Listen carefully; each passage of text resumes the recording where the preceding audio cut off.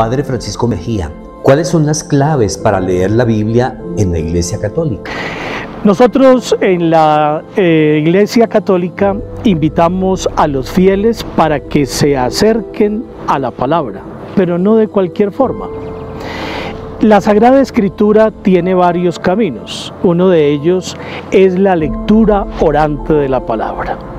A veces no necesitamos ningún diplomado, ni necesitamos tampoco ninguna formación específica, pero que ese primer contacto con la palabra sea para la oración.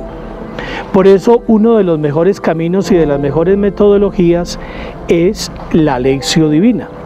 Qué bueno que ustedes tengan la oportunidad en sus parroquias, con su párroco, con los que animan bíblicamente la vida de las comunidades y de las parroquias, aprender esta metodología.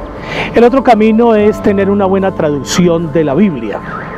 Y la oportunidad es que podamos tenerla y con una buena asesoría, con alguien que nos ayude en la vida parroquial, que sea como un director, un maestro, el párroco, el vicario parroquial, para que nosotros tengamos una introducción general de la Sagrada Escritura, del Antiguo Testamento, del Nuevo Testamento. ¿Qué debe tener esa Biblia?